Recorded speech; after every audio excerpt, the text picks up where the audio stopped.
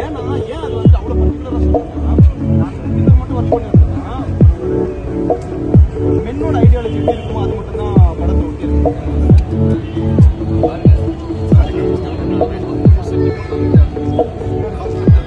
ஒட்டியிருக்கேன்